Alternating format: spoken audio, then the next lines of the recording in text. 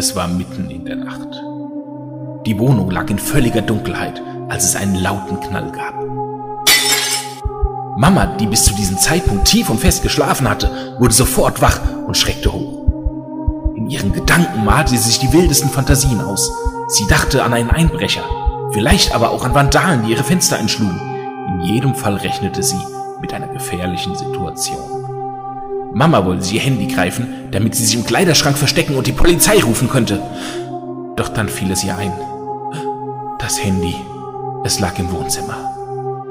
Es blieb ihr nichts anderes übrig, als aufzustehen. Sie horchte in die Nacht hinein. In der Wohnung war es still geworden. Nichts regte sich mehr. Mama atmete auf. Dann schlich sie sich ins Wohnzimmer und sah sich um.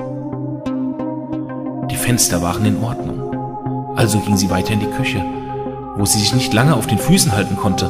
Der Boden war glitschig und brachte sie zum Sturz. Sie mühte sich wieder hoch, schlug äh, auf den nahen Lichtschalter und sah, wohin sie rausgerutscht war. Unter ihren Füßen war eine rote Pfütze, deren Flüssigkeit sich nun zum Teil in ihrem Nachthemd befand. Mama wusste sofort, dass es sich hierbei nur um eines handeln konnte. Blut! Sie begann laut zu schreien, bekam Angst und rechnete damit, dass sich etwas wirklich Gefährliches auf sie stürzen würde. Doch dann hörte sie ein genervtes Stöhnen hinter sich. Mama, Mama, mach doch nicht so eine Welle. Erklang die Stimme ihres Sohnes. Mir ist einfach ein Marmeladenglas runtergefallen und dann ausgelaufen. Geh wieder ins Bett und lass mich hier aufwischen.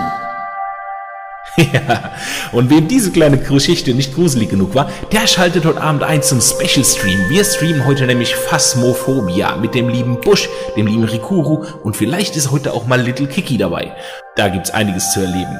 Und übrigens, ich habe den ein oder anderen Doni-Sound reingebaut, mit dem ihr mich wirklich erschrecken könnt. Bis heute Abend, 21 Uhr, euer Rouge.